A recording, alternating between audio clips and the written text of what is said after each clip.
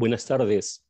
Mi nombre es Félix Reategui Carrillo. Soy director encargado y temporal del Instituto de Democracia y Derechos Humanos de la Pontificia Universidad Católica del Perú y quiero darles la bienvenida en nombre de nuestro instituto a este encuentro de presentación del libro Trayectorias Migrantes, la Juventud Venezolana en el Perú. Estamos muy agradecidos por su compañía y por su interés y también muy reconocidos al lugar de la memoria por su hospitalidad. Antes de dar inicio al encuentro, les quiero recomendar que mantengamos las cámaras de video apagadas para que de ese modo el diálogo se pueda desarrollar con mayor fluidez. Quiero resaltar, además, que este es un espacio seguro y protegido contra actos que vulneren a las personas presentes o que las expongan a cualquier riesgo de agresión. El libro que vamos a presentar ha sido elaborado en el marco del proyecto Trayectorias Migrantes, un acercamiento a los factores que estructuran los proyectos y estrategias migratorias de personas jóvenes venezolanas en el Perú.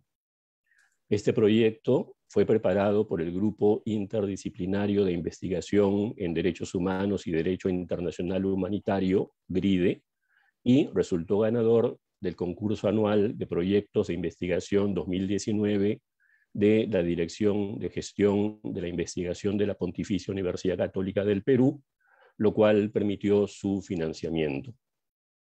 Los principales objetivos de la investigación realizada y del libro que ahora presentamos son explicar los factores que estructuran las trayectorias migratorias de jóvenes venezolanos en Perú según las etapas del proceso migratorio en las que se encuentran. Clasificar asimismo las trayectorias migratorias de los jóvenes venezolanos en el Perú según sus perfiles, motivos, dinámicas de entrada y de salida, y comparar sus trayectorias migratorias según la etapa del proceso migratorio en la que se encuentren. También se analiza en este libro qué factores estructuran los proyectos y estrategias migratorias de los jóvenes venezolanos y venezolanas en el Perú y se observa de qué manera las políticas migratorias y de refugio influyen sobre sus trayectorias migratorias. Por otro lado, y más allá de estos objetivos académicos o de investigación, es importante decir que esta investigación tiene como meta llamar la atención sobre las dificultades que enfrenta la población venezolana migrante en nuestro país, así como también sobre su potencialidad creativa y de ese modo promover la garantía y el respeto de sus derechos.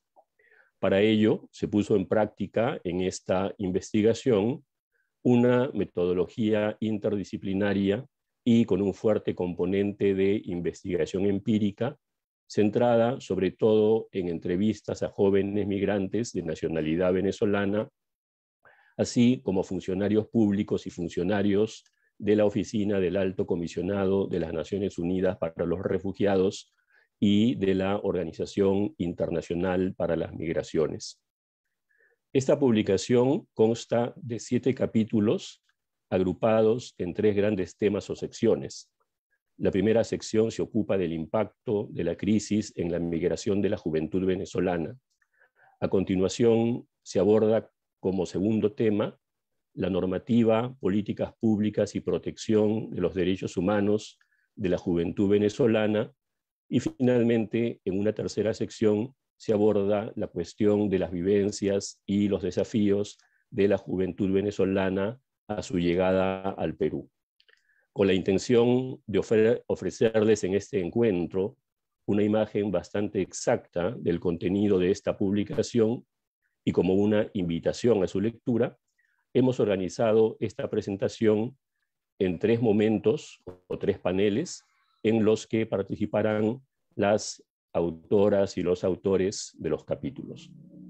Sin más preámbulos, quiero dar inicio al primer panel titulado impacto de la crisis en la migración de la juventud venezolana y para el cual hemos sugerido como una pregunta guía la siguiente. ¿De qué manera ha impactado la crisis social en Venezuela sobre la decisión de los jóvenes de emigrar y sus trayectorias migratorias. En este panel vamos a oír a Stephanie Borios, autora del capítulo Huir para vivir, crisis social y migración de supervivencia, y a Robán Cabañú, autor del capítulo Género, Cuidados y Responsabilidades Familiares de la Juventud Venezolana, una tipología de las trayectorias migratorias en contexto de crisis, quienes tendrán cada uno 10 minutos para compartir con nosotros sus reflexiones. Stephanie Borios es doctora en antropología con certificado en estudios latinoamericanos por la Universidad de Florida en los Estados Unidos. Ha sido profesora auxiliar en Eastern New Mexico University, también en Estados Unidos, y profesora contratada en la especialidad de antropología de la Universidad Católica. Desde el año 2019, Stephanie es profesora auxiliar de la Escuela de Antropología de la Universidad Nacional Mayor de San Marcos. Por su parte, Oban Cabañú, doctor en estudios de las sociedades latinoamericanas en Sociología y Demografía por el Instituto de los Altos Estudios de América Latina en la Universidad de Sorbona, París III, Robán se desempeña como profesor asociado en el Departamento de Ciencias Sociales de la Pontificia Universidad Católica del Perú, donde es miembro del grupo de investigación Edades de la Vida y Educación. Quiero entonces dar la palabra ahora por 10 minutos a Stephanie Borios. Buenas tardes y gracias por esta oportunidad de, poder compartir con ustedes eh, algunos de los hallazgos de, esta investigación. Eh, para entender de qué manera la, crisis en Venezuela ha influido en la decisión de los jóvenes eh, de emigrar y en sus trayectorias migratorias, he utilizado en ese capítulo parte de la información proveniente de las entrevistas que realizamos, en este caso en Tumbes, eh, a estos jóvenes para resaltar e ilustrar diferentes facetas de, la crisis que se vive en Venezuela, para mostrar cómo esta crisis generalizada eh, que trastorna múltiples aspectos de, la vida de esos jóvenes, eh, lleva a muchos de ellos a finalmente tomar la decisión de, salir de su país, a pesar de ser una decisión difícil y algo que nunca habían pensado hacer en su vida. ¿no?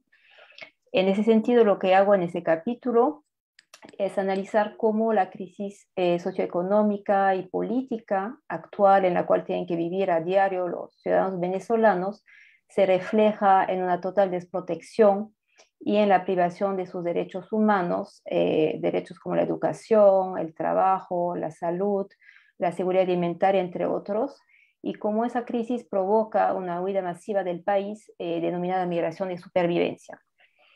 Una de las preguntas que hicimos a los jóvenes que entrevistamos en diferentes partes del Perú, pero ahorita eh, en el capítulo analizo más las entrevistas que hicimos en Tumbes, eh, les preguntamos sobre la, situación de, su país en los últimos años. Lo que queríamos hacer eh, era entender desde su perspectiva cómo ellos han vivido esta crisis, eh, cómo han visto que su país ha cambiado, cómo eso les ha afectado ¿no? en términos personales, profesionales, etcétera, ¿no? para tener un entendimiento diferente de la crisis o de las múltiples crisis en todo caso. Y si bien la situación eh, de Venezuela ha sido complicada desde hace varias décadas, básicamente esos jóvenes no conocieron un país eh, próspero. nacieron cuando ya había muchos desafíos para el, el país, ¿no? Que son jóvenes de eh, sus 20 años, la mayoría de los que, que, voy a utilizar ahora para la presentación, las citas de jóvenes, ¿no? de personas en sus 20.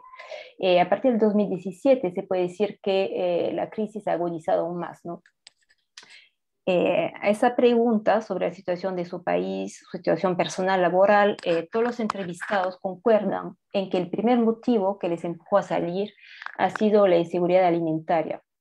Eh, por inseguridad alimentaria se entiende el acceso eh, a los alimentos, o sea, tener alimentos eh, en, a su alcance, pero también poder comprarlos si es que están, si están muy caros, no lo pueden conseguir, este, se considera que están en inseguridad alimentaria las personas, pero también tener alimentos de calidad y que ese acceso a los alimentos sea sostenible en el tiempo. ¿no? Así que todos mencionan que es básicamente la falta de alimentos que ha hecho que, mm, que decidan salir del país, ¿no? Pero ¿cómo se manifiesta esto a diario en sus vidas? Bueno, al entrevistarlos, a eh, recopilar esas historias de vida, hemos podido ilustrar todo esto, ¿no? Eh, una cita de una persona que entrevistamos, Javier, ilustra eso, ¿no? Él es un profesor, eh, era profesor de matemáticas en un colegio público y sus padres eran funcionarios públicos también, trabajan en el Ministerio de Educación él nos, dijo lo siguiente, ¿no? Con mi salario nada más podía comprar un kilo de queso. Era lo único que podía comprar. O podía comprarme, no sé, un kilo de arroz y un kilo de pasta, y mi mamá compraba un kilo de carne, mi papá compraba un kilo de queso y ya. Esto era una vez al mes. O sea, vemos como tres funcionarios públicos este, para un mes, eh, sus salarios alcanzan para comprar esos alimentos nomás, ¿no?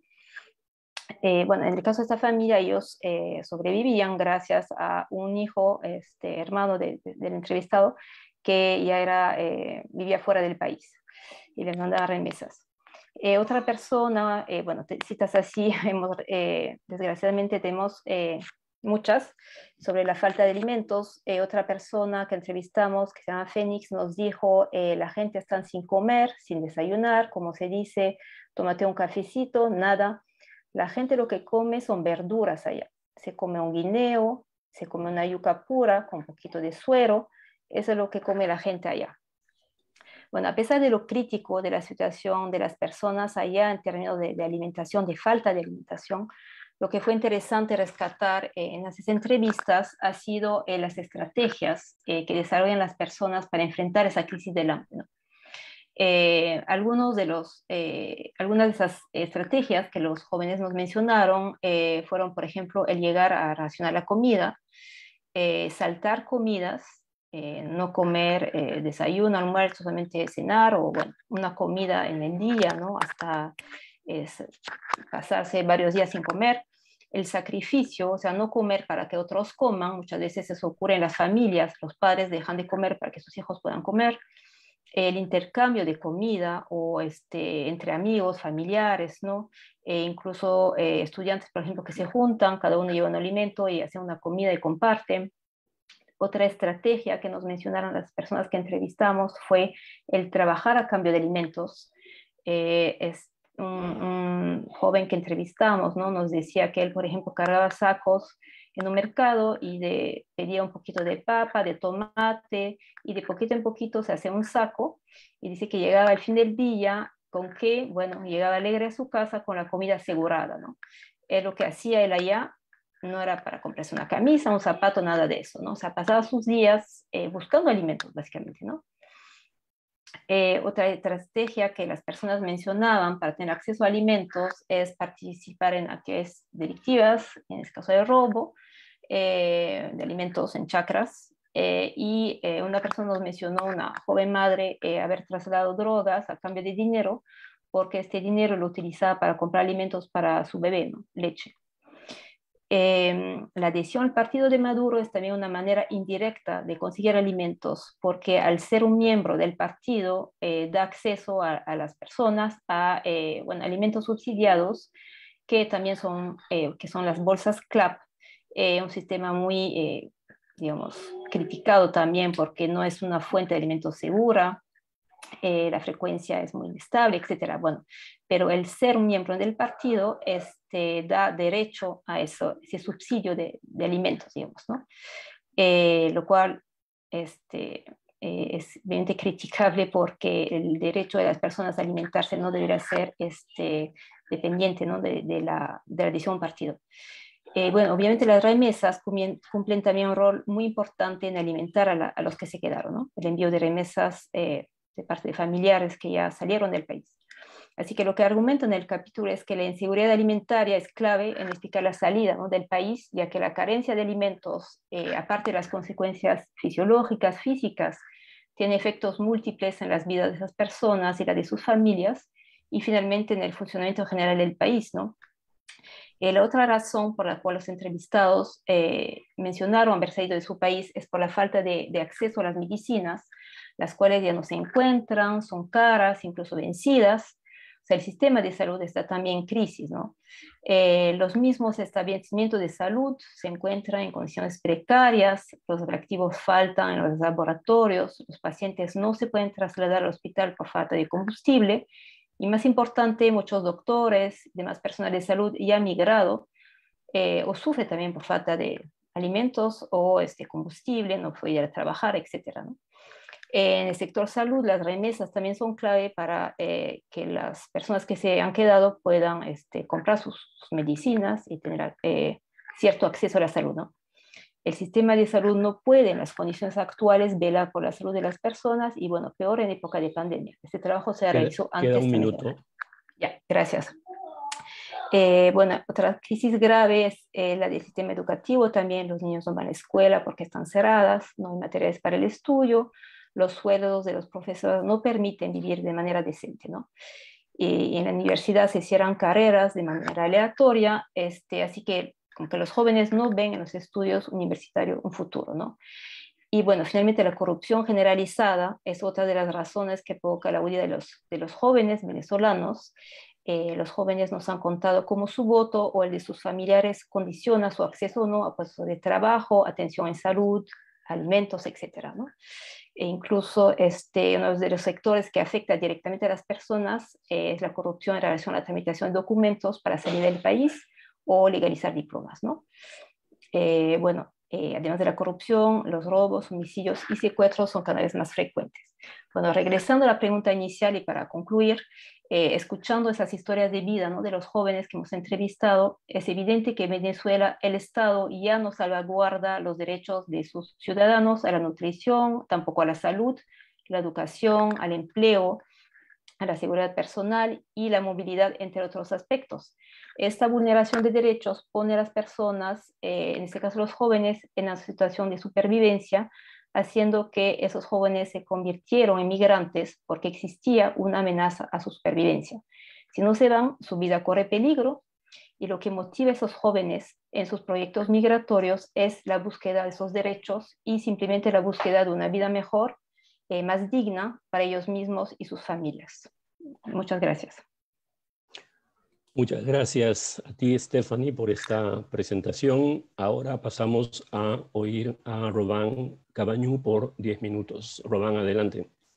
Muchas gracias, Félix. Eh, en primer lugar, quiero saludar a todos los colegas de la universidad aquí presentes, a los colegas de la, eh, del UNO y, eh, bueno, y a todos los participantes del público. Bueno, muchas gracias por su asistencia. Eh, bien, eh, entonces la, la, crisis, ¿no? La crisis que, que, atraviesa Venezuela desde los años 2015-2016, eh, sabemos que es una crisis de una um, intensidad sumamente importante, ¿no? Y efectivamente en el proyecto de investigación a través de, las, de la encuesta de, de, las investigaciones de campo que hemos hecho, nos ha tocado este, observar, analizar el impacto, el efecto de la crisis en las trayectorias migratorias de los jóvenes venezolanos. ¿no? Yo creo que lo primero que eh, debemos, subrayar eh, sobre la, crisis es su eh, dimensión, su multidimensionalidad. es, una, es una noción multifacética, como se dice, hay, diferentes manifestaciones. ¿no? Entonces, habría que hablar de las crisis, ¿no? al plural. Las crisis se manifiestan en, en, en dimensiones como la, lo social, lo económico, como lo explicó eh, Stephanie, también obviamente en la, dimensión eh, política, ¿no?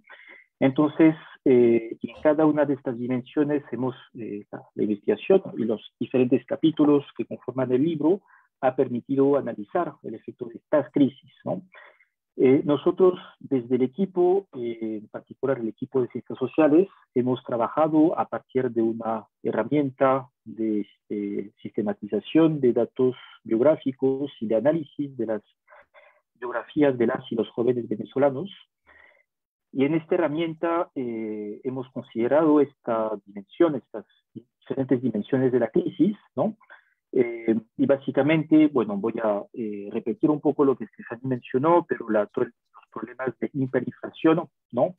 Eh, que, hemos, bueno, que hemos conocido también en Perú en alguna, en, una, época, eh, es un factor que ha afectado enormemente las condiciones de vida de los jóvenes, eh, la hiperinflación, la pérdida de trabajo, eh, la pérdida de poder adquisitivo de los sueldos, el desempleo sumamente importante. Un, un, aspecto que nos impactó mucho son las colas para conseguir este, alimentos ¿no? este, de manera este, sumamente mínima todo el tema también eh, muy eh, relevante de las dificultades de acceso a la salud, dificultad de eh, provisión de medicamentos, ¿no? etcétera. Entonces, en realidad hay, hay muchos, hay muchos factores muy concretos, digamos, que permiten entender cómo esta crisis se ha manifestado de manera muy concreta, ¿no? En, en, el curso de vida de, los, de las jóvenes entrevistadas, ¿no? Em, y bueno, obviamente en, la dimensión política, este, eh, lo que muchas, muchos jóvenes nos han compartido, las eh, situaciones de represión política, eh, de marchas reprimidas, etc. Entonces es una crisis sumamente aguda que hemos podido este, evidenciar a partir de más de 50 historias de vida realizadas con, con jóvenes migrantes y esta, esta crisis se manifiesta entonces por una multiplicidad de factores de vulnerabilidad y pasamos de condiciones que ya eran precarias a condiciones que ya se asemejan a lo que es las eh, condiciones de supervivencia. Entonces yo creo que también eh, los diferentes capítulos del libro permiten eh, dar cuenta, digamos, de esta transición de lo que es la precariedad, ¿no? en situaciones que pueden ser manejables, precarias, pero todavía manejables, pero a situaciones absolutamente eh, graves de supervivencia. ¿no? La crisis eh, se repercuta, esta crisis considera a nivel contextual, después se repercuta a un nivel de observación y un nivel de, análisis que eh, desde mi punto de vista es sumamente importante, que es la familia. Y ¿no? entonces la, la crisis requiere de parte de las familias una, una serie de, de, estrategias de adaptación, de modos de existencia adaptados a la situación. Y, eh, y, en, esta, eh, y, en esta, y en este nivel de observación, la estrategia que hemos observado y en la estrategia que eh, actualmente desde el año 2016 la más común entre las familias venezolanas es recurrir a estrategias de movilidad más específicamente a decisiones de migración hacia los países de la región, ¿no? Eh, y en particular en los países eh, que son este, Perú y, y, bueno, Colombia, ¿no? También este, muchos que se van, o sea, que tratan de irse hasta, hasta Chile, ¿no? Pero lo que nos ha interesado muchísimo también en la investigación es ver que la crisis tiene eh, un impacto diferenciado, ¿no? Para cada joven, según diferentes características sociodemográficas, según su edad, según su sexo, según su género, pero también según su situación familiar, según la estructura de su hogar, eh, según la edad de los padres, si son, digamos, eh, adultos o ya personas mayores, según la estructura del hermandado, según el rango de cada joven migrante dentro de su grupo de hermanos, según las necesidades de cuidados transnacionales, las necesidades de cuidado, que es un tema sumamente clave, eh, según su nivel de educación también, según sus proyectos, etcétera, etcétera, hemos eh, podido dar cuenta de una gran heterogeneidad, o sea, de una heterogeneidad importante en las trayectorias migratorias de los, eh, de, los, de las, los jóvenes. ¿no? Eh, cuando hablamos de trayectorias migratorias, eh, es, digamos, en este, en este, caso fue nuestra variable dependiente, es precisamente lo que quisimos eh, analizar, pero para poder analizar esta trayectoria tuvimos que considerar las demás trayectorias de los jóvenes, ¿no? la trayectoria familiar, como mencioné, la trayectoria educativa, la trayectoria laboral, la trayectoria reproductiva, etcétera, etcétera, ¿no? Entonces, este conjunto es precisamente lo que conforma eh, el curso de vida de cada joven entrevistado. Y Y bueno, en el, capítulo este, que tuve el placer de preparar para el libro colectivo, traté un poco de desconstruir esta heterogeneidad y evidenciado una, unas cuantas trayectorias migratorias que caracterizan el fenómeno migratorio de la juventud venezolana hacia el Perú. ¿no? Entonces, básicamente, eh, hay tres trayectorias que tienen que ver con una, eh, una dinámica que tienen que ver con una dinámica netamente individual y otras tres trayectorias que tienen que ver más con una dinámica familiar, ¿no?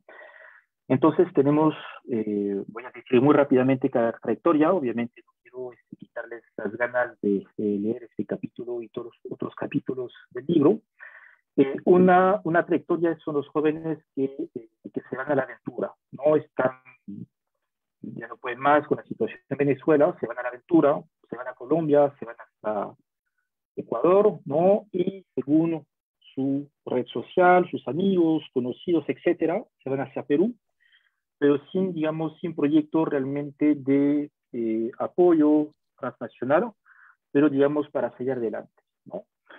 hay otra, hay otro, hay otra situación que eh, que es muy interesante, bueno, con, con Cecil y con Stephanie y con Pablo también en TACNA hemos hecho esta historia, hemos recogido historias sobre este tipo de trayectoria.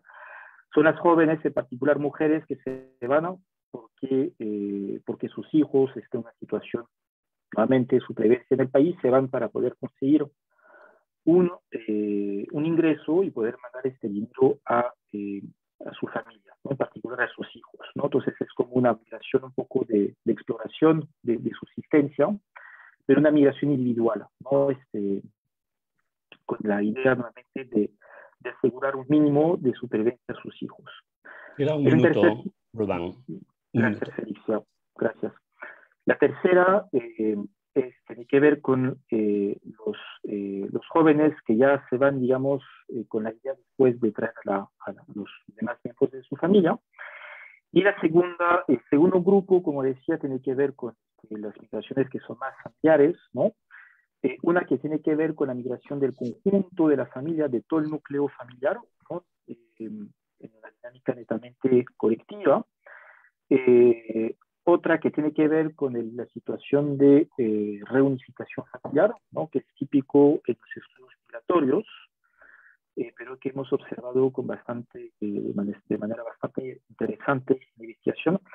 Y el último, el sexto, la sexta trayectoria, bueno, obviamente podrán ver el detalle de, de cada trayectoria en el, en, el, en el, libro colectivo, pero la, la, última quisiera un poco, bueno, detenerme, detenerme en, en unos segundos sobre esta trayectoria porque personalmente, y sé que a mis colegas también nos llamó, nos llamó mucho la atención, es el caso de las madres, las madres solas, ¿no? madres solteras, eh, entonces de hogares monoparentales que tienen eh, varios hijos, ¿no? niños pequeños, ¿no?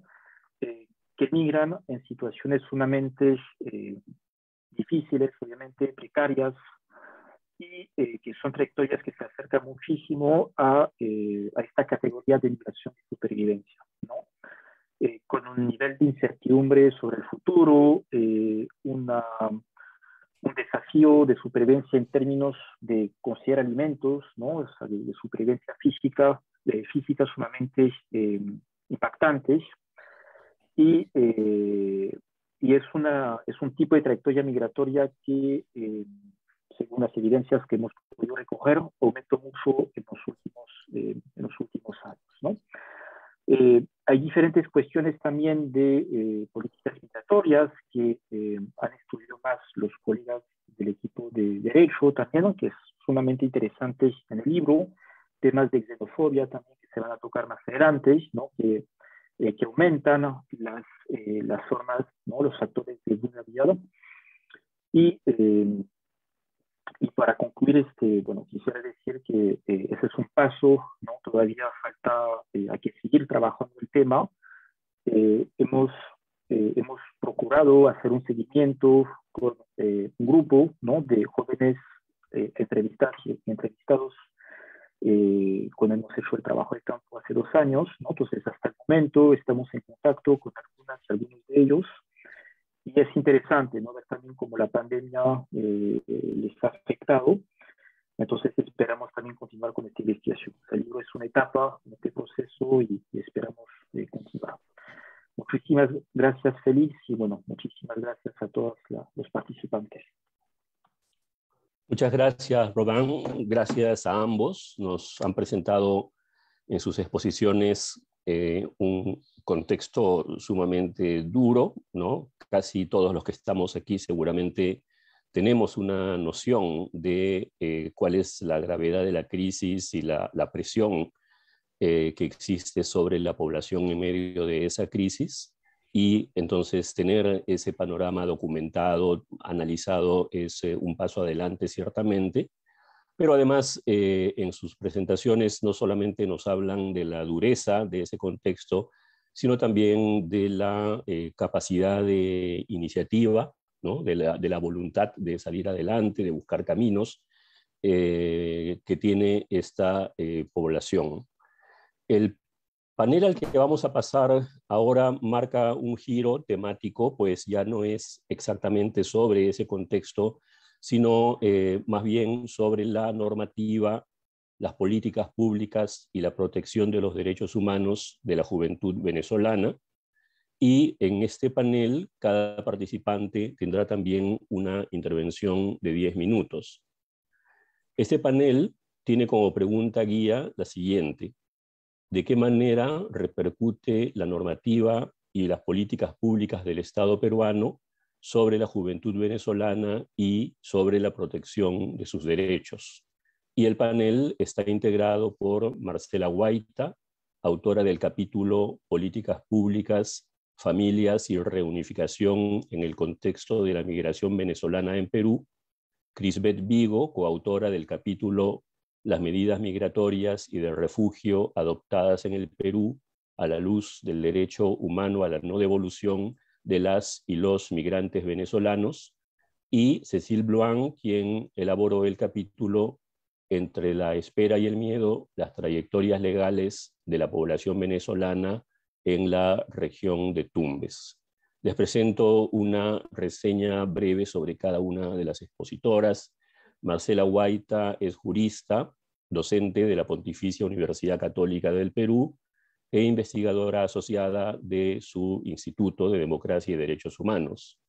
Marcela es magíster en estudios legales internacionales por el Washington College of Law, con estudios completos de doctorado en Derecho en la Universidad Católica. Ha sido ministra de Estado en el Ministerio de la Mujer y Poblaciones Vulnerables del Perú en los años 2015 y 2016. En el año 2016 fue presidenta de la Comisión Interamericana de Mujeres y actualmente preside el Comité de Expertas del MESECBI de la OEA. Crisbeth Vigo es abogada con mención sobresaliente de la Pontificia Universidad Católica del Perú Actualmente se desempeña como asociada del estudio Rodrigo Elías y Medrano, abogados. Crisbeth es miembro del equipo jurídico del GRIDE y ha investigado principalmente el derecho a la no devolución de grupos en situación de especial vulnerabilidad. Cecil Bluan es profesora de la Maestría en Derechos Humanos de la Pontificia Universidad Católica del Perú investigadora del Grupo Interdisciplinario de Investigación en Derechos Humanos y Derecho Internacional Humanitario de la Universidad Católica. Es licenciada en Derecho y Ciencias Políticas por la Universidad de Versalles, Saint-Quentin-en-Yvelines, magíster en Derecho de la Unión Europea por la Universidad Carlos III de Madrid. Tiene además una especialización en migración y asilo desde una perspectiva en derechos humanos por la Universidad Nacional de Lanús en Buenos Aires, Argentina. Del 2016 al 2020, Cecil fue investigadora principal de la línea temática de movilidad humana del Instituto de Democracia y Derechos Humanos. Entonces, para comenzar el panel, quiero ceder la palabra por 10 minutos a Marcela Guaita. Adelante, Marcela. Gracias. Quiero en primer lugar eh, saludar a mis colegas eh, presentes y a todas las personas que en ese momento están conectadas o que eh, van a ver seguramente el video de esta presentación. y yo voy a, compartir mi, mi, pantalla para poder eh, compartir con ustedes algunas de las ideas que están desarrolladas en el capítulo. Ya estoy compartiendo la pantalla, espero que ya la puedan estar viendo.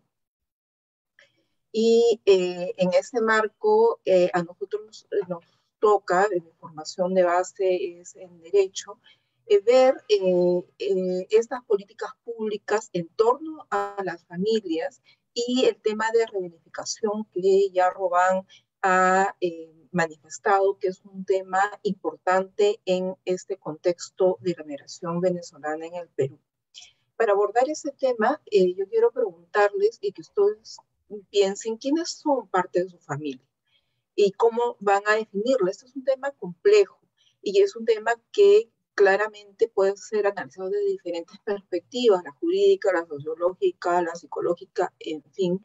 Y cuando ustedes están pensando con parte, quién es parte de su familia, algunos pueden estar privilegiando los vínculos de sangre, otros los vínculos legales, o también eh, la convivencia, el contacto frecuente, la cercanía personal y afectiva. Y eh, esto es lo que vamos a analizar en este capítulo desde la perspectiva de derechos humanos, desde la perspectiva de la normatividad eh, peruana sobre migración y desde los testimonios de estos jóvenes migrantes. Eh, por lo tanto, nuestro objetivo era identificar esta implicancia en la política migratoria peruana en esta materia, que si bien no es un tema que en este momento puede estar siendo una cuestión legal en jóvenes que están migrando, sí va a ser un tema importante que se va a desarrollar a futuro. Y también entonces determinar al amparo de los estándares internacionales de derechos humanos los límites de lo que constituye la unidad familiar de las personas migrantes. Eh, como todos y todas sabemos, eh, las personas tenemos derecho a la constitución de la familia y a su protección, y esto está desarrollado en diferentes tratados internacionales de los que es parte el Perú. Y la Corte Interamericana tiene numerosos pronunciamientos en donde eh, ha tratado de ser muy respetuosa sobre el concepto de familia, que es un concepto difícil, y ha, tratado de eh, reconocer los derechos de las familias de una manera flexible y amplia, como en la cita que yo estoy compartiendo con ustedes, en donde ya eh, la Corte ha dicho que hay una riqueza y diversidad de familias en la región que se han visto reflejadas en los casos que la Corte ha revisado. Y eh, la Corte en distintos fallos ha relevado que las familias no se agotan en los vínculos de sangre, los vínculos legales, sino que tiene mucho que ver con esta convivencia, con estos lazos afectivos, puesto que este concepto de familia está también en evolución permanentemente, como sabemos. Entonces, desde el marco eh, de derechos humanos tenemos una protección amplia de las familias. Y cuando vamos a, mirar estos testimonios de estos jóvenes que eh, están migrando al Perú, y como sabemos, muchas de estas migraciones son de grupos familiares, pero son de grupos familiares que son difíciles de eh, determinar. Por ejemplo, en este, eh, testimonio, Oscar, que es un migrante, nos dice, me quería con todos, son mis hermanastros, por decir así. Uno de ellos, perdón, eran cuatro, un hombre y tres mujeres. Una de las mujeres, de hecho, la mayor de las mujeres con las que le sigue, se vinieron a Perú. Y yo dije, uy, pero ellas llegaron allá, yo quiero ir donde están ellas, ¿no? Entonces, esta referencia de estos jóvenes en muchos casos está vinculada con esta familia de origen, con estos hermanos, con estos hermanazos, como este, Oscar les llama, y nos vamos a preguntar si en un momento determinado este vínculo va a ser reconocido o no dentro del Estado peruano y a través de su política migratoria. Y ahí eh, en el artículo van a poder eh, ver eh, un recorrido sobre cómo nuestra política migratoria viene de alguna manera reconociendo cada vez de una mejor manera a la familia, pero con bastante rezago de lo que es eh, los derechos constitucionales y más aún los derechos reconocidos en los tratados internacionales.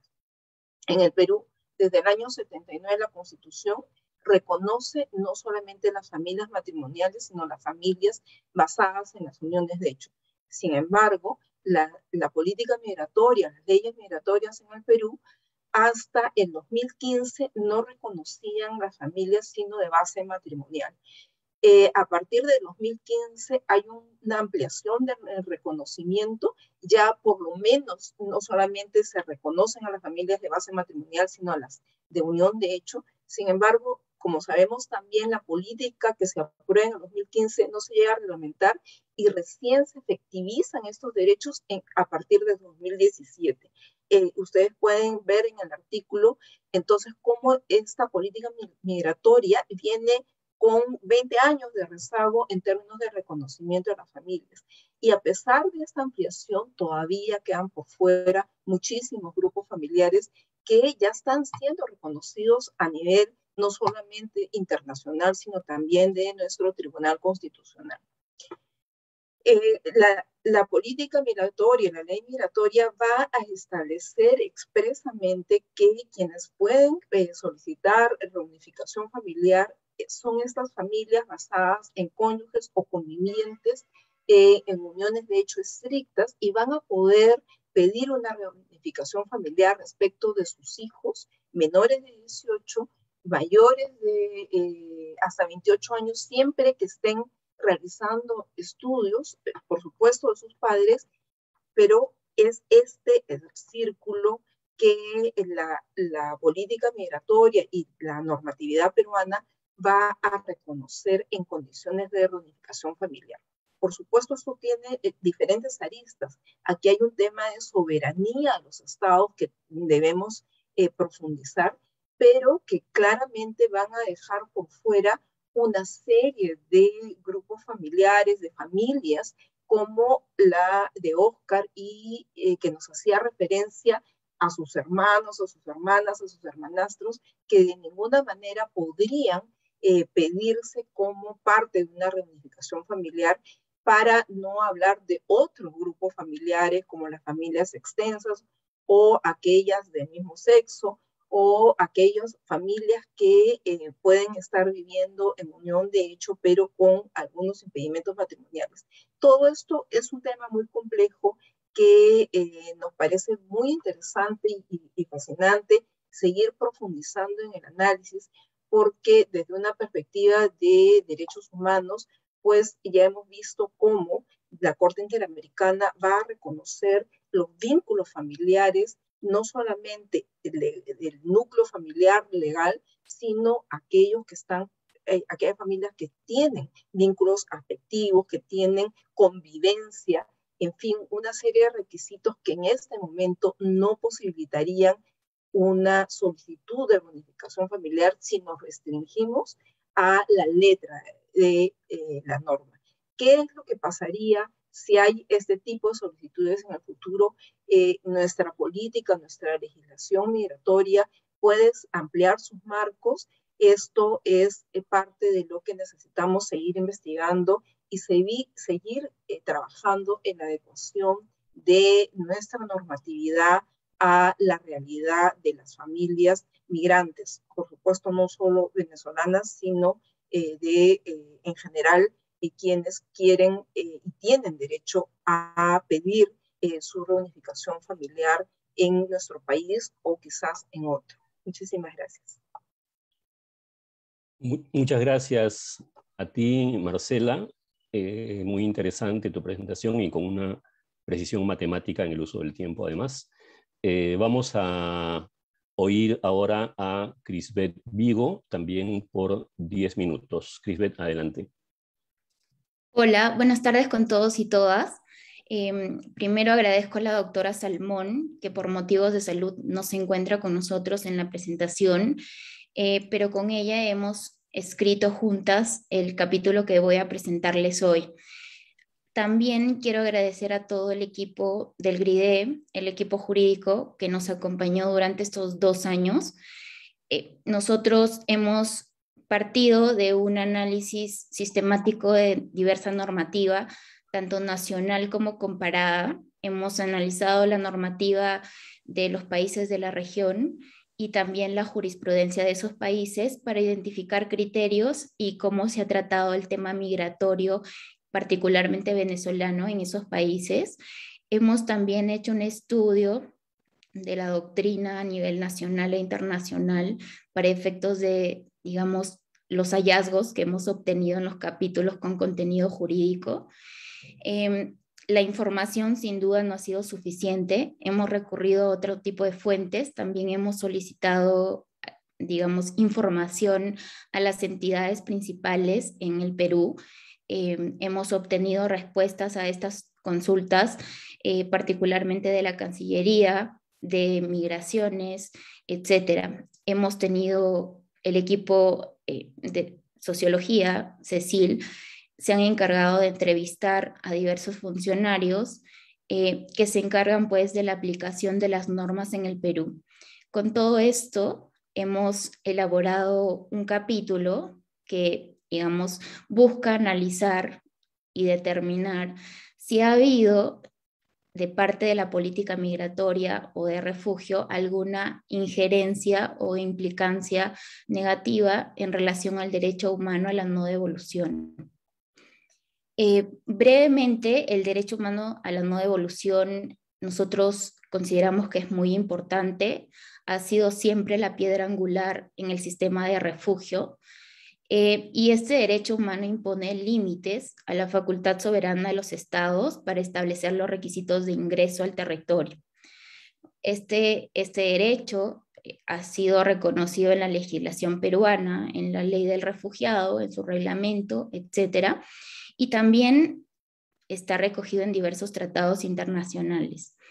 Básicamente, lo que busca este derecho es que las personas no sean expulsadas o devueltas a su país de origen por, digamos, tener un temor fundado de que si regresan a su país de origen pueden sufrir daños en su integridad física o, digamos, en general pueden sufrir algún tipo de afectación a sus derechos a la vida o, por ejemplo, también a su derecho a la salud.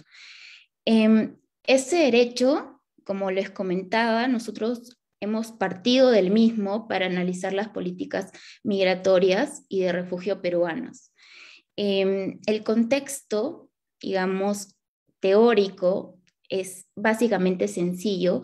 Nosotros hemos identificado que el Perú y a nivel latinoamericano, este derecho es de titularidad de todos y todas los migrantes en su calidad de extranjeros, el Perú y muchos países de la región han ratificado la Convención Americana de Derechos Humanos y en esta se reconoce esta, este derecho ¿no? para todos los extranjeros, no necesariamente para refugiados ni asilados.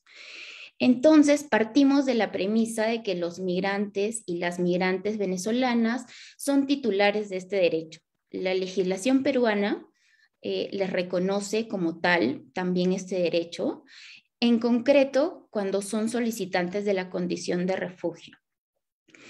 Este derecho les permite ingresar a los territorios eh, a los que ellos pretenden ingresar cuando se alega un riesgo de que si se los retorna o se los expulsa a sus países de origen, puedan sufrir algún tipo de perjuicio en su vida o su integridad.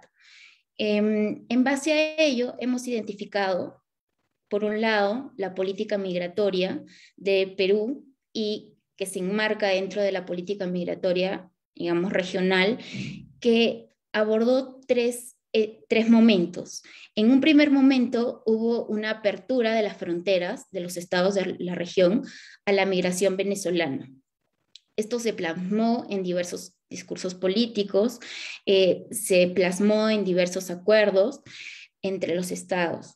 Un segundo momento fue el de restricción parcial de entrada al territorio, donde si bien se mantenía el discurso político de ingreso a los migrantes venezolanos, por otro lado, en la práctica se comenzaban a imponer diversas diferenciaciones para, digamos, regularizar la situación migratoria de las personas venezolanas. Eh, por ejemplo, en el Perú se dio el PTP, que es el permiso temporal de trabajo que probablemente muchos de los asistentes conozcan, porque fue muy, digamos, difundido en su momento. El segundo momento fue un momento de cierre total de fronteras. Ese momento estuvo marcado no solo por un cierre con el apoyo de las policías, de los militares, sino también con discursos marcados. Eh, el expresidente Martín Vizcarra tiene algún tipo de declaraciones en ese sentido, que se estaban cerrando las fronteras a venezolanos eh, y también eso se explica por un flujo masivo de la presencia de los mismos, En las fronteras como por ejemplo Tumbes o Tacno. En estos, digamos, interines se fueron emitiendo una serie de, medidas, eh, entre las cuales nosotros hemos analizado las medidas de imposiciones de requisitos para, por ejemplo, obtener el PTP, como son los antecedentes policiales o penales, o también medidas como la imposición del pasaporte o la exigencia de la visa. Por ejemplo, la medida de presentar antecedentes es una medida que en la práctica resulta de difícil o casi imposible acceso para los migrantes venezolanos. Porque, como mencionaron eh, los colegas en el panel primero, las condiciones precarias en Venezuela eh, de condiciones en donde su salario mínimo incluso no asciende a más de 5 dólares mensuales, no les permite acceder a un requisito como este, porque obtener un pasaporte o, también obtener antecedentes en Venezuela es muy costoso. Eh, digamos que las personas en los hechos no pueden acceder. Y no solo es costoso, sino que también es un sistema que está marcado por la corrupción, por la lentitud y por todos los problemas estructurales que, digamos, tienen el sistema estatal venezolano. Em, el tema luego, posterior, fue la imposición de la visa a los migrantes venezolanos. Esta medida, que probablemente también la va a comentar Cecil más adelante, se tradujo en que en los hechos era una visa humanitaria, pero en los hechos, como las personas venezolanas no podían obtenerla, se fueron estableciendo algún tipo de excepciones, excepciones humanitarias a la visa. Em, y también hemos visto eh, básicamente que a partir de estas tres medidas de, digamos, imposición de requisitos, se comenzaron a utilizar mecanismos de entrada irregular al territorio peruano.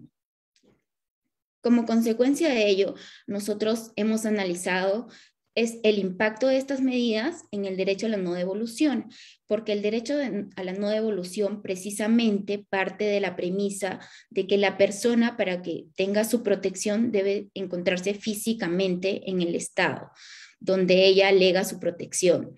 Entonces, em, lo que hemos identificado es que potencialmente estas medidas migratorias podrían implicar una afectación a este derecho, que como lo he mencionado, no es titular, la titularidad, digamos, no es solo de las personas solicitantes de la condición de refugio, que claro, en el tema de los migrantes venezolanos también concurre porque efectivamente muchos de ellos y ellas han utilizado la, la solicitud o la posibilidad de solicitar condición de refugio como un mecanismo alternativo de regularización de su situación migratoria, ante la imposibilidad de conseguir los requisitos para obtener una calidad migratoria habilitante para trabajar en el Perú, se ha optado también por la solicitud de la condición de refugio. Y ahí paso al siguiente momento que fue estudiado en el capítulo, si las medidas de refugio adoptadas por el Estado peruano han tenido algún tipo de implicancia en el derecho a la no devolución. Te queda un minuto, Crisbeth. Gracias. Y como parte de esta investigación hemos encontrado que efectivamente potencialmente se puede encontrar algún tipo de afectación en los hechos sobre todo en la práctica y en base a todas las manifestaciones que hemos recogido, en base a las opiniones de los funcionarios que entrevistamos, etcétera. No vemos que no se está aplicando definiciones como la definición de Cartagena para reconocer a personas, eh, personas migrantes venezolanas como refugiados. Y al final del capítulo, lo que hemos visto es que esta eh, digamos, estas posibles afectaciones, lo que nos lleva a pensar es que el Estado peruano, digamos, las políticas han ido cambiando en función al flujo de venezolanos entrantes o solicitantes de las condiciones de refugio y que finalmente el Estado se ha ido adaptando a esto. Y lo que nosotros eh, reflexionamos es que estas políticas de refugio, migratorias, etcétera, lo que deben buscar también es el respeto pleno de, los derechos fundamentales de las personas migrantes y sobre todo considerar la situación de especial vulnerabilidad en la que ellos se encuentran. Esa ha sido nuestra investigación desde el plano jurídico, que también tomó en base a las entrevistas em, que se realizaron al inicio de la investigación. Y básicamente eso. Gracias. Muchas gracias a ti, Crisbet. Y ahora para cerrar este panel vamos a escuchar también por 10 minutos a Cecil Bluan. Adelante, Cecil. Muy buenas tardes, muchas gracias Félix por, por la presentación. Eh, saludos a todo el equipo también. Y para respetar mis 10 minutos, voy a este, plantear cuatro puntos para esta presentación eh, y lo que ha sido un poco eh, el capítulo eh, y el sentido de este capítulo que yo les voy a presentar, no en su integralidad, porque la idea es que lo lean, más que lo conozcan del todo hoy día, ¿no? el primer punto que quiero abordar es cómo he entendido lo que se llama la trayectoria legal en mi capítulo, ¿no? Y eso es el camino que atraviesan las personas migrantes para definir y redefinir, porque es una redefinición constante, sus estatus migratorios. Y eh, cuando hablo de estatus y de perfil migratorio, es eh, una foto ¿no? que se da en algún momento donde hay también pasado, por qué han llegado a tener este estatus tiene mucho que ver cómo llegaron al país, con qué documentos llegaron al país, con qué condiciones llegaron al país, pero también su estatus tienen también mucha de futuro, de proyección, ¿no? Y lo que se puede observar es cuáles son las estrategias, ¿no? Que es lo que voy a llegar eh, un poco después. Esta trayectoria legal o estas trayectorias legal que he analizado, eh, en este capítulo solo analizo el caso de Tumbes, pero estoy analizando en realidad para otros trabajos todas las ciudades que hemos recorrido, que son tres, ¿no? Tumbes, Tacna y em, Lima. En este capítulo analizo Tumbes, que tiene obviamente características muy particulares que, podríamos ahondar, pero en el capítulo lo van a poder descubrir. Eh, lo que se puede observar es que estas trayectorias son muy diversas y eso responde a lo que un poco se, ha dicho en, este, en este rubro sobre políticas migratorias y, enfoque normativo, eh, es lo que yo llamo en el capítulo esta em, coexistencia de las políticas de hostilidad y las políticas de hospitalidad selectiva, que es eh, de hecho em, una terminología usada por eh, Eduardo Domenech sobre el caso argentino, pero que se aplica muy bien eh, al caso que, que vivió Perú, que cambió de políticas, ¿no?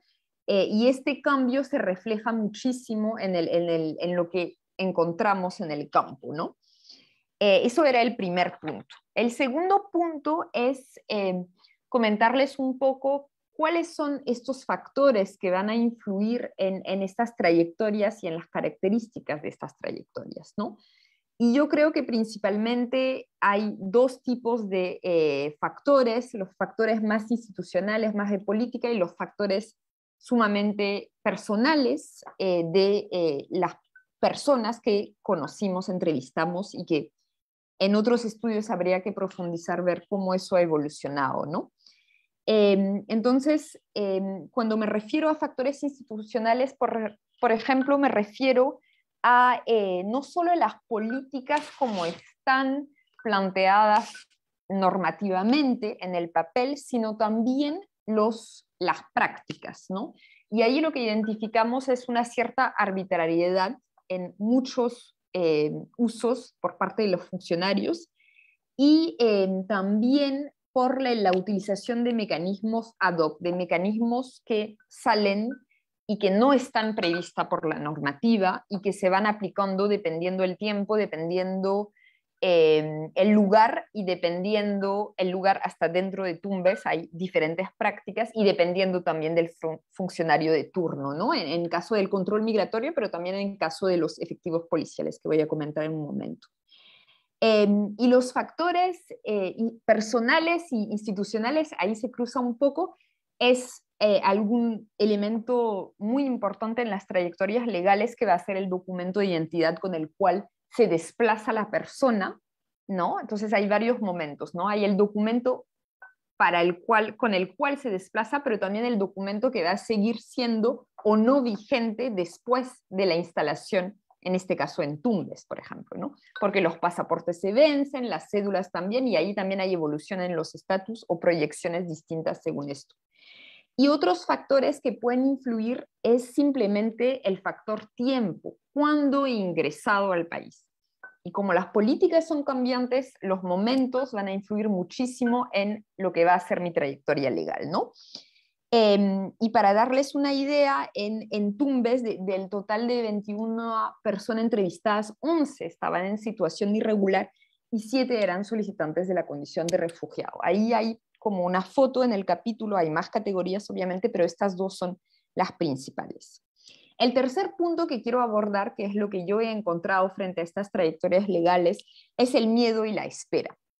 Cuando me refiero al miedo y espera, quiero hablar del miedo principalmente a la expulsión y el miedo que está vinculado, el miedo que está vinculado a esta política de hostilidad eh, que va y viene, ¿no? que coexiste con otros tipos de políticas que pueden intentar eh, dar eh, una acogida a ciertos grupos vulnerables, pero que siempre está también el otro lado, esta coexistencia con la hostilidad. Y la espera, por otro lado, que no hay que pensar una espera desde la inmovilidad, sino es una espera móvil, es una espera para pensar estrategias de movilidad en muchos casos en lo que encontramos y lo encontramos para Perú, pero también hago una revisión de la literatura y se ha encontrado en muchos más territorios en, todo el continente, ¿no?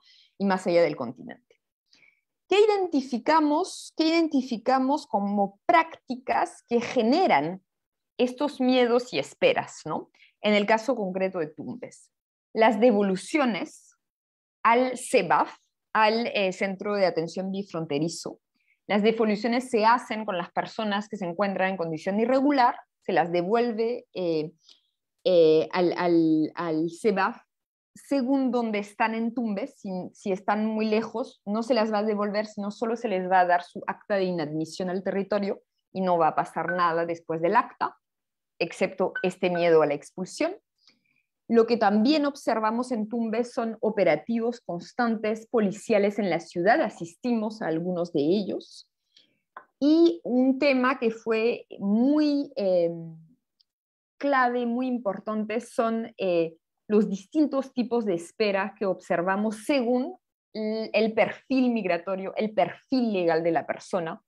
Y en este caso tenemos estos siete personas que eh, solicitan el refugio y que están algunos desde eh, dos años esperando tener la primera cita eh, para tener la entrevista en el proceso de, de, reconocimiento de la eh, condición de refugiado, que en teoría por ley toma 60 días y estamos en dos años y el proceso no avanza, ¿no? Y finalmente lo que quiero abordar, porque veo que me queda muy poco tiempo, son las formas de resistencia que frente a estos miedos, estas distintas esperas, las personas que conocimos, las personas que entrevistamos, eh, desarrollan, ¿no? Entonces, eh, por un lado está el seguir moviéndose, como comentaba, frente a la espera. Hay movilidades de vuelta a Venezuela, hay movilidades dentro del Perú, hay movilidades dentro de Tumbes, hay movilidades dentro de la región andina y más allá, ¿no? Eh, y también está esta idea de eh, si me deportan, si me devuelven, yo regreso, ¿no? Y hay esto que, que algunos autores llaman estos movimientos circulares forzosos, ¿no? Me devuelven a mi país o me devuelven en este caso a un país de tránsito, normalmente es lo que hacen, de Perú le devuelven a Ecuador, Entonces de Ecuador yo vuelvo y vemos que muchas veces encadena eh, en otros eh, contextos y es probablemente lo que pasaría en Perú y lo que ellos nos afirmaron, ah, yo, a mí si me devuelven, yo regreso de nuevo, ¿no? Eh, y también observamos prácticas de residencia, y con eso termino, en el mismo CEBAF, donde las personas estaban retenidas. Eso ha cambiado con la pandemia, pero bueno, en este tiempo donde nosotros estuvimos, había personas retenidas durante más de dos meses en este primer campamento de refugiados en el Perú. Y ahí lo que encontraban en organizarse como comunidad migrante dentro del CEBAF, tener sus propias estrategias de, de supervivencia dentro de un contexto bastante complejo de espera latente, que no sabes lo que va a pasar mañana. Entonces creas vínculo, te organizas con los demás, ¿no? Entonces eso me parece una resistencia muy importante, vinculado también muchísimo, y termino con esto, con el apoyo de las organizaciones humanitarias que son muy presentes en Tumbes y que también eso fue un eje de análisis para mi capítulo.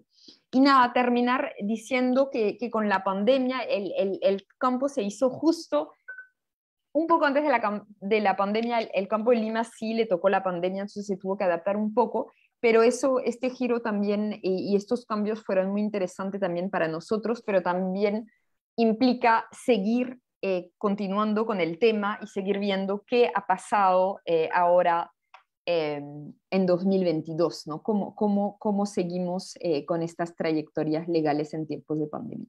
Y con eso me quedo. Muchas gracias. Muchas gracias a ti, Cecil. Gracias también nuevamente a Marcela y a Crisbeth. Me parece que entre las tres presentaciones nos dejan un retrato eh, de qué, tan hondo es el desafío que, en este momento enfrentamos eh, hacia tener una política de acogida em, de acuerdo a ley y sobre todo humanitaria, lo, que, lo que vemos en los distintos panoramas presentados es eh, un marco legal que en principio podría haber sido adecuado, pero que sufre regresiones. Y eh, al otro lado está también el problema de la debilidad institucional o quizá la falta de voluntad institucional para eh, el tratamiento de la migración de acuerdo con el marco legal existente y desde luego con los estándares internacionales de los cuales el Perú es eh, Estado suscriptor. Hay entonces ahí mucho para reflexionar. Creo que estas, eh, las reflexiones presentadas son importantísimas para ser discutidas entre funcionarios, por ejemplo, eh, que, que, que sean encargados de afinar nuestra política sobre migración. Para finalizar, vamos a pasar ahora al tercer momento de este encuentro, que lleva como título Vivencias y desafíos de la juventud venezolana a su llegada a Perú, y que girará en torno de esta pregunta. ¿Cuáles son las problemáticas y desafíos que enfrenta la juventud venezolana a su llegada a Perú y qué posibles medidas pueden tomarse? Para desarrollar este tema contamos con dos expositores, Pablo Vega, autor del capítulo Experiencias de discriminación hacia jóvenes migrantes venezolanos, construcción del discurso e impactos en la vida cotidiana, y Gonzalo Gamio, autor del capítulo Ética, Inmigración, Reflexiones sobre la migración venezolana en tiempos de crisis. Cada uno de ellos tendrá también 10 minutos para su intervención. Antes de ir a esas intervenciones, presento una breve reseña. En primer lugar, intervendrá Pablo Vega, quien es antropólogo. Tiene el título de magíster en antropología visual por la Pontificia Universidad Católica del Perú. Cuenta con experiencia en la investigación de temáticas migratorias, estudios sobre la ciudad y juventudes, y además ejerce la docencia universitaria en la especialidad de antropología de la Universidad Católica. Gonzalo Gamio Gueri intervendrá en segundo lugar. Gonzalo es doctor en filosofía por la Universidad Pontificia de Comillas en Madrid. Actualmente es profesor en la Pontificia Universidad Católica del Perú y en la Universidad Antonio Ruiz de Montoya. Es autor de diversos libros, entre ellos la construcción de la ciudadanía, ensayos sobre filosofía política, que es de hecho su más reciente publicación, próxima a ser presentada, El experimento democrático, reflexiones sobre teoría política y ética cívica del año 2021, y Racionalidad y conflicto ético, ensayos sobre filosofía práctica. Vamos entonces a oír en primer lugar a Pablo Vega por 10 minutos. Pablo, adelante. Eh, muchas gracias. perdón, eh, eh, disculpen, he cometido un error. Habíamos quedado en realidad en que la primera intervención sería la de Gonzalo Gamio, sí, excusas por eso. Gonzalo, entonces más bien te escuchamos a ti por 10 minutos con las disculpas a Pablo. Muy bien. Buenas tardes. Muchas gracias. Eh, bueno, yo quería empezar hablando acerca de, em, digamos, este, em, las inquietudes que, que se suscitaron en mí a la hora de, de, participar en este proyecto de investigación tan, tan importante, ¿no? tan, interesante, ¿no? y eh, afrontar, digamos, estas historias que, que recabaron los investigadores y que contaban de manera tan conmovedora, tan sentida, digamos, la, situación de los migrantes jóvenes venezolanos en el país. Eh, em, y me preguntaba yo desde el, desde el principio, ¿no? ¿Qué podía aportar como filósofo, dado que yo no soy ni abogado ni científico social, a esta, a esta investigación tan importante? y desde dónde enfrentar y leer estas, e, estos testimonios. ¿no?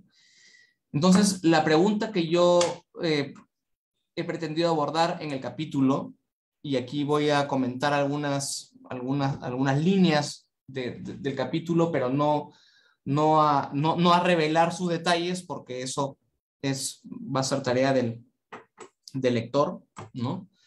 Eh, la cuestión que yo me planteé es desde qué ética, ¿no? ¿Qué tipo de ética necesitamos para examinar em, el predicamento de los migrantes jóvenes venezolanos en el Perú, ¿no? O sea, ¿cuáles son los problemas prácticos que tenemos? El problema de cómo eh, respetar de manera estricta los derechos de los migrantes, el tema de la no devolución, del cual Crisbet ha hablado muy bien, y la posibilidad de integración de los, de los migrantes en los espacios de la vida personal y de la vida pública. Entonces, claro, la, la cuestión que yo abordo en este, en este capítulo es cómo, digamos, qué características tiene eh, eh, una, una interpretación ética, un abordaje ético de este problema, ¿no? Y lo primero que hay que decir es que la migración es un fenómeno histórico recurrente e incontenible. ¿no? Muy a menudo un sector de la opinión pública conservador rechaza, digamos, al migrante, generalmente desde el prejuicio, ¿no? Pero el fenómeno de la migración es incontenible. El mapa, si, vemos, si vemos en, eh, digamos, la historia en una perspectiva amplia, el mapa y eh, el mapa geográfico y el mapa geopolítico y cultural se ha movido decisivamente a partir de fenómenos migratorios. Y el siglo XXI y el, siglo XXI en nuestra región no es una excepción. Y otro dato fundamental es que a menudo la migración es forzosa. ¿no? y las historias personales de los migrantes venezolanos eh, digamos, tiene ese sello, ¿no? Ellos han llegado al país movidos por, una crisis económica, por la violencia, por la opresión política, se han movido de su, de, su, de su tierra para huir de la perspectiva del hambre, de la restricción de libertades importantes e incluso de una muerte prematura que podía esperarles en el lugar de, de origen. abandonar el propio lugar de origen es abandonar lo habitual, ¿no? Mm, eh, sabemos que hábito viene de habitat, ¿no es verdad? Entonces, el hábitat es el espacio, el, lugar de origen, el lugar de nacimiento, es el lugar de los hábitos y de las costumbres, ¿no? Optar por salir de casa y a veces desarraigarse es un reto difícil y a menudo doloroso. Y los migrantes están expuestos a un, a un nuevo lugar, a situaciones adversas y a menudo a una población hostil. No siempre, por supuesto, tenemos también experiencias genuinas de solidaridad y compromiso, pero también de lo que podríamos describir como temor al extraño. Estas personas están expuestas al subempleo, a la estigmatización, al prejuicio, al acoso sexual, etc. Y como hemos estado viendo en los últimos tiempos, incluso en los últimos días, también están expuestos a la criminalización de la migración. Pensemos en las últimas declaraciones del alcalde de, La Molina en esta dirección. ¿No? Otro elemento fundamental es que tras la xenofobia se esconde la aporofobia, ¿no? la aversión al pobre. Esto es muy importante, porque muy a menudo la gente, digamos, este, tiene una valoración negativa selectiva de la migración, no de cualquier migración, no de la migración de aquel que viene desde una buena posición y desde una buena posición y puede invertir en el país, sino es más bien el temor al pobre, ¿no? Tenemos muchos ejemplos históricos también antiguos sobre este asunto, ¿no? El punto de vista que quisiera eh, destacar es el de Judith Butler, ¿no? Judith Butler dice, en un ensayo sobre el Estado de Israel, dice, cito, cohabitar es algo anterior a cualquier comunidad posible a cualquier nación o vecindad. Podemos escoger dónde vivir y con quién, pero no podemos escoger con quién cohabitar la tierra. Fin de la cita. O sea, la cohabitación es un hecho, ¿no?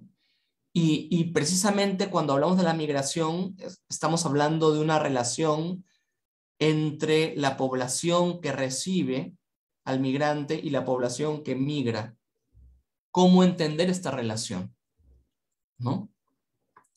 Y claro, eh, sabemos que existe, que, que, que, que en esta relación la violencia está presente o puede estar presente, ¿no? La violencia, y aquí estoy pensando en Johann Galtung, que es el padre de los estudios sobre la paz y la violencia, la violencia es cualquier factor que, puede, que pueda convulsionar el bienestar de la sociedad, el bienestar de quienes habitan en la sociedad, ya sea porque han nacido en ella o porque han eh, entrado a vivir en ella. Em, y, Galtung hace una tipología de la violencia muy interesante, que es conocida, ¿no? la violencia directa, que puede ser física o psicológica, la violencia estructural, que es la violencia que proviene de un sistema socioeconómico o político que produce exclusión u opresión, y la violencia simbólica, que es la violencia que proviene del terreno del discurso, de las creencias, de las valoraciones, etc. Y el, migrante forzoso, el migrante pobre, está expuesto a estos tres tipos de violencia. ¿no? Galtung propone como un factor de contención de la violencia el poder. ¿no? Tiene una lectura más bien estrecha del poder. Galtung define el poder como la capacidad de hacer, inspirado en Maquiavelo, pero hay otra noción de poder más interesante y más compatible con el enfoque ético, social que queremos eh, desarrollar aquí, que es el concepto arentiano del poder, la idea de la posibilidad de actuar en coordinación. Me queda un minuto, Gonzalo. Muy bien. Eh, y esto está asociado, o sea, la, posibilidad de coordinar acciones para actuar en conjunto, ¿no? Esto está asociado también con una ética de la empatía, ¿no? La empatía como la base de los derechos humanos, ¿no? La capacidad de proyectarnos en la situación del otro de la situación de indefensión de quien sufre innecesario, inmerecidamente, ¿no? Ponernos en su lugar en un horizonte de simetría para intentar sentir con él, ¿no? Entonces, estos dos elementos, el del poder y el de la proyección empática, hacen posible una, una ética fundada en la cultura de los derechos humanos. Y esto deja también abierta la puerta de una opción que todavía no se ha explorado en este, eh, digamos, en, el fenómeno de la migración venezolana, y es que los migrantes puedan eh, movilizarse y coordinar acciones y asociarse para, eh, digamos, tener algún tipo de influencia en las decisiones que afectan potencialmente su destino. Muchas gracias. Muchas gracias. Muchas gracias a ti, eh, eh, Gonzalo. Ahora vamos a oír también por 10 minutos a Pablo Vega. Pablo, adelante. Muchas gracias, Félix. Eh, buenas tardes a todos y a todas. bueno, para empezar, tal vez lo que habría que volver a enfatizar es que, como ha, mencionado el, el, resto de autores de este libro, los desafíos, las problemáticas que enfrenta la población venezolana eh, en Perú son múltiples, ¿no? Desde la precariedad laboral económica, la falta de acceso a servicios básicos, eh, la dificultad de obtener un estatus migratorio regular, eh, entre otras cuestiones. Pero dentro de esta multiplicidad, un elemento que apareció de manera transversal en la gran mayoría de, entrevistas, conversaciones que, que tuvimos con, con, los jóvenes, las jóvenes venezolanas, tanto en Tacna, en Tumbes como en Lima, fue la vivencia de eventos discriminatorios que habían experimentado en algún momento desde su llegada a Perú. Em, lo que podríamos mencionar rápidamente sobre esto es que, digamos, la, recurrencia de este tipo de eventos nos hace ver que esto no es un problema aislado, vinculado a situaciones específicas, sino que remite más bien una serie de lógicas o imaginarios complejos dentro de la sociedad peruana que de alguna manera condiciona o predispone estas situaciones de, rechazo y, de violencia eh, frente a las y los migrantes. Em, para comprender em, y analizar estas situaciones existen algunos conceptos eh, relacionados que nos permiten conocer un poco mejor las características de esta problemática. La xenofobia, que ya se ha mencionado, que digamos es el, es el elemento más más recurrente cuando se tratan de, explicar este tipo de situaciones, ¿no? que hace referencia al miedo o el rechazo a lo considerado extranjero, pero también esto se relaciona a eh, lo que se conoce como etnocentrismo, ¿no? la percepción de la cultura propia como superior al resto. ¿no? Y esto a su vez con los discursos de nación, ¿no? lo que algunos eh, autores mencionan como naciocentrismo, ¿no? y que eso implica la naturalización de la escala nacional ¿no? al momento de legitimar categorías sociales o culturales. ¿no? Y esto en particular, ¿no? los discursos de nación, eh, es un elemento central dentro de las experiencias contadas por las y los jóvenes. ¿no? ¿Por qué? Porque cuando explicaban ¿no? y daban un poco más de detalles sobre estas vivencias que habían experimentado, ¿no? había un momento en este tipo de situaciones previo al acto de discriminación, ¿no? que podría llamarse un, eh, digamos, un momento de identificación de estas personas, de estos migrantes, ¿no? que podía ser o por la manera como hablaban, pero también la manera como se veían. ¿no? Y posteriormente, una vez, digamos, terminada esta identificación, era un encasillamiento, ¿no? ¿Es peruano o es extranjero? Y si es extranjero, ¿de qué nacionalidad es? ¿no? Y si era venezolana, evidentemente la mayoría de veces ¿no? emergían estas situaciones discriminatorias. Además, un elemento interesante de, lo que nos comentaban eh, las y los jóvenes Em, es que estas situaciones que enfrentaron se dieron en contextos eh, inesperados, ¿no? en situaciones cotidianas mientras realizaban su trabajo, estaban en el transporte público o incluso paseando con amigos y familiares. No, había ni siquiera un trasfondo conflictivo como telón de fondo de estas interacciones, sino simplemente eran momentos donde había una exteriorización del rechazo frente a lo considerado diferente o ajeno eh, a la nación, al país, digamos. ¿no? Em, una cosa que también nos interesaba era ver eh, cuáles eran las causas que los mismos venezolanos, las mismas venezolanas, eh, brindaban ese tipo de situaciones, ¿no? ¿Por qué pensaban ellos que ocurrían ese tipo de, actos permanentemente hacia ellos y hacia sus compatriotas, Y hubo dos elementos principales que, emergieron a partir de esta, pregunta o esta cuestión, eh, uno en particular que puede ser problemático por lo que ahora voy a comentar, pero empezando por el primero era la responsabilidad que ellos también daban a los medios de comunicación, ¿no? Y, digamos, no solo la prensa escrita o televisiva, sino a la opinión pública en general, ¿no? No olvidemos también que, eh, como los propios eh, venezolanos, venezolanas con los que conversamos mencionaban, pero también como muchos de nosotros recordaremos, ¿no? Existen también hitos significativos dentro de la, de, la opinión pública. Que un poco eh, contribuyeron a esta mirada estigmatizadora frente a la migración. Por mencionar dos, en el año 2020, ¿no? cuando se creó esta llamada Brigada Especial contra la Migración Delictiva. Eh, además, esto vino acompañado con un comercial elaborado y, e innecesariamente amenazante del Ministerio del Interior, o cuando eh, la ex congresista, por ejemplo, Esther Saavedra en el 2019, eh, en, el pleno en, un pleno del Congreso empezó a exigir entre gritos que se debían cerrar las fronteras porque los migrantes venezolanos quitaban trabajo a los peruanos. Entonces, los propios jóvenes ¿no? que se encuentran viviendo en el Perú son conscientes ¿no? de la manera como la opinión pública también construye una mirada particular que contribuye a que en la cotidianidad ¿no? se relacionen con los migrantes venezolanos de una manera bastante determinada.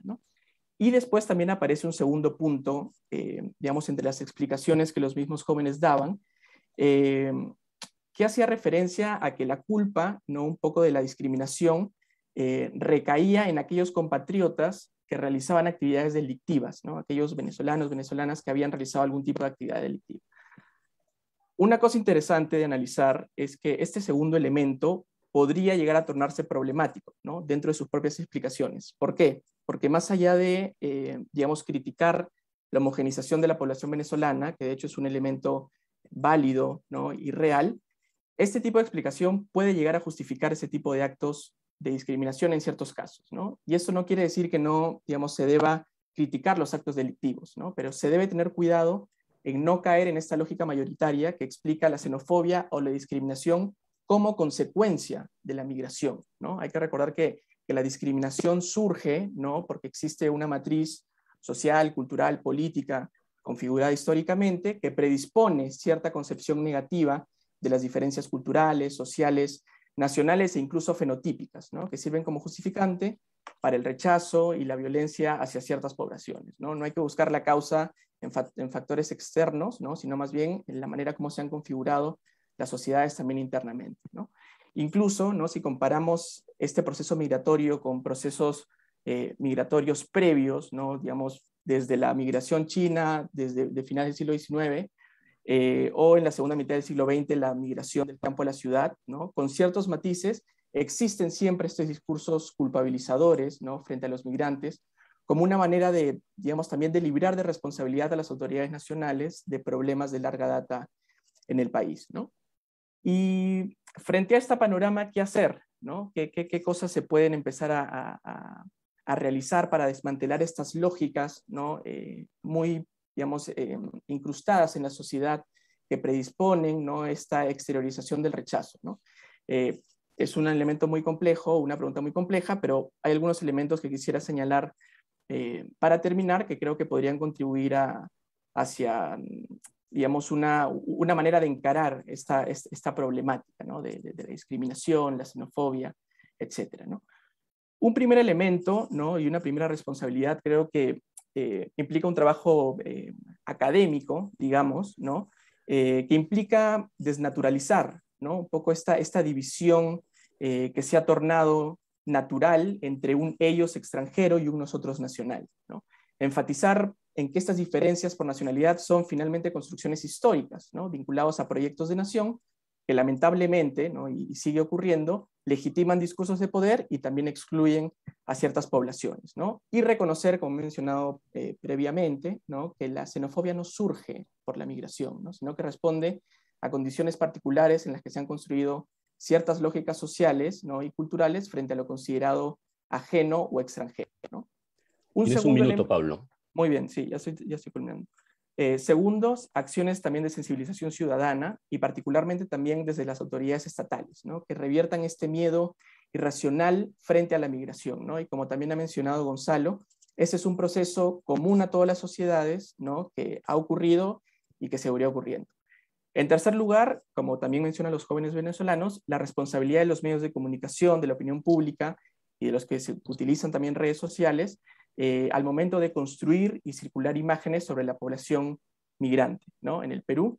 Y finalmente también este elemento que había mencionado previamente es la responsabilidad de la propia población venezolana de no reproducir en sus discursos y en sus eh, interacciones cotidianas, ya sea consciente o inconscientemente, estos prejuicios que circulan sobre ellos mismos y sus compatriotas. ¿no? Eh, creo que dentro de la gran complejidad del problema, estos son algunos elementos que podrían tomarse en cuenta para empezar a encarar esta, digamos, esta cuestión tan compleja que siguen viviendo muchos venezolanos y venezolanas eh, en el país. Eh, eso sería todo. Muchas gracias. Muchas gracias a ti, Pablo. Gracias también, Gonzalo. Me parece que eh, si en el panel anterior tuvimos una mirada sobre las restricciones y desafíos normativos e institucionales. Lo que acabamos de oír es un complemento y también, de algún modo, una profundización en la comprensión del problema, puesto que eh, nos sitúa en el universo cultural del fenómeno, ¿no? ya sea que hablemos desde las orientaciones éticas, de las cuales eh, se ocupó Gonzalo, o de las eh, representaciones y discursos que subyacen a el rechazo al extranjero, que es grosso modo aquello de lo que nos estuvo hablando Pablo, ¿no? De todo ello, lo que, lo que eh, resulta es que eh, más allá de la normativa y más allá de la legalidad, hay una tarea mm, bastante más exigente que hacer que está más bien en el terreno de la, de la mirada, de la mirada social y desde luego de las eh, valoraciones, no solamente del otro, sino también de las valoraciones de eh, o sobre nosotros mismos. ¿no? Entonces, con eso se, se redondea, me parece, una, una, reflexión bastante ambiciosa sobre, sobre este tema. Estamos llegando con esto al cierre de esta presentación Creo que estaremos todos de acuerdo si digo que todas las intervenciones han sido no solamente muy claras, sino que además son una verdadera invitación a leer este libro que versa sobre un tema central también para los derechos humanos en el Perú y en la región. Por ello, quiero reiterar nuestro agradecimiento a Stephanie, Rodán, Marcela, Crisbet, Cecil, Gonzalo y Pablo Así como también agradezco en el nombre de IDEPUC a todos quienes nos han acompañado uniéndose a esta presentación por Zoom y por la página de Facebook del LUM, institución a la que expresamos una vez más nuestro reconocimiento, y también en la página de nuestro instituto. Con ese agradecimiento, entonces, y esperando que se sientan invitadas e invitados a leer este, este libro, les deseo muy buenas noches. Hasta pronto.